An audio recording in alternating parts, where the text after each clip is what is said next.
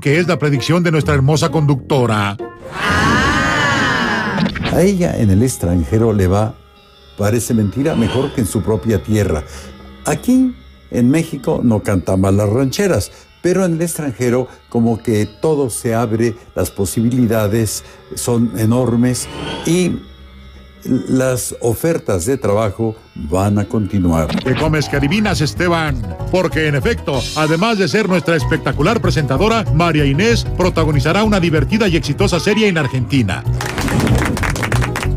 Y para quienes piensan que afortunadas en la chamba, desafortunadas en el amor, nada más escuchen este vaticinio. El amor anda rondando tu corazón y hay posibilidades de una relación que puede terminar en un matrimonio antes de 12 meses.